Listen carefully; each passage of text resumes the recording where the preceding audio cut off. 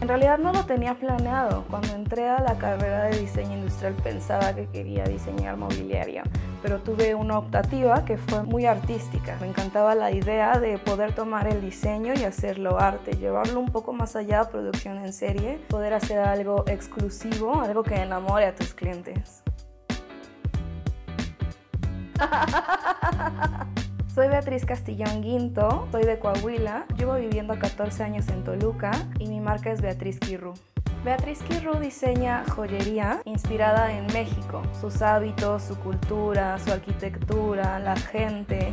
También me inspiro en mis experiencias, en el amor, el desamor, prácticamente todo lo que pasa. A mí me gusta mucho tomar en cuenta las experiencias de la gente, sus vivencias y el sentimiento que tienen. Mi sueño es plasmar todo esto en una pieza de joyería que dure años y años, se vuelva historia. Terminé la licenciatura y empecé a trabajar en una empresa que se llamaba Liberty News Lomas de Chapultepec. Ahí diseñaba joyería en base a modelos vintage. Al año decidí crear mi marca.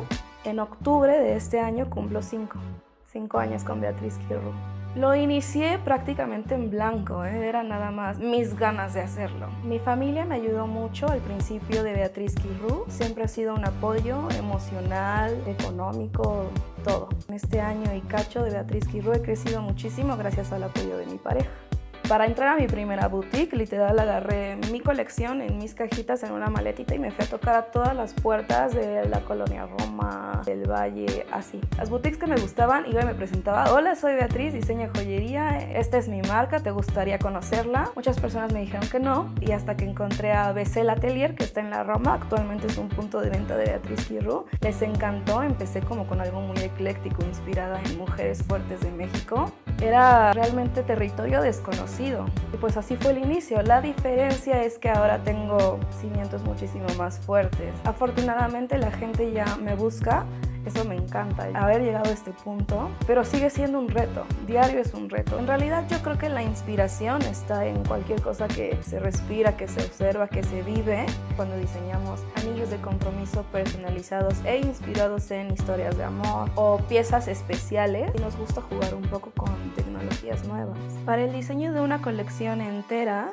Siempre empiezo por la pieza manifiesto, que generalmente va a ser la más grande, la que tenga todo el concepto plasmado. Y de ahí voy tomando pequeños módulos para hacer piezas más comerciales o que se puedan usar más fácil, que queden con un look más casual. Primero el boceto, después el plano de producción y en el taller junto con mis maestros artesanos, en una charola de asbesto empezamos a dibujar con cada grapa de los cristales, sin cristal, solo la grapa, las formas que queremos. Soldamos siempre por atrás, después limpiamos, lavamos muy bien la pieza, se mete al baño de níquel, níquel negro u oro, dependiendo de lo que vaya para la pieza y para el modelo. Y al final montamos cada cristal, uno a uno se monta el cristal con un pegamento especial, se espera que se seque y después se cierra cada uña, que son aproximadamente entre 4 y 6 por cristal. Realmente las combinaciones y las posibilidades son infinitas hasta donde lleve la imaginación. Tuve una portada en Marie Claire junto con Belinda, con collar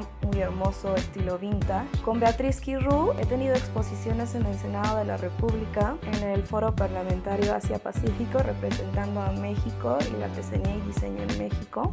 Y Forbes mencionó a Beatriz Kirru como una de las marcas prometedoras de diseño y joyería. Actualmente pueden encontrar Beatriz Kirru en mi página web que es www.beatrizkirru.com. Hay pagos en efectivo y con tarjeta, está todo el catálogo en stock y si no lo podemos elaborar. Al igual que los pedidos especiales con un pequeño correo o por Instagram para los chicos que quieren emprender un negocio, yo les digo que nunca, nunca dejen que alguien les diga que no pueden, crean en ustedes. Claro, hay cosas que no saben, las pueden aprender, hay cosas que con el camino se van adquiriendo. Es muy importante siempre tener en mente la meta, el punto a donde quieren llegar y una vez que lleguen, una más grande y así, y así, y así nos vamos. Todo el tiempo puedes estar dando tu 100, pero lo importante es saber en dónde enfocarlo.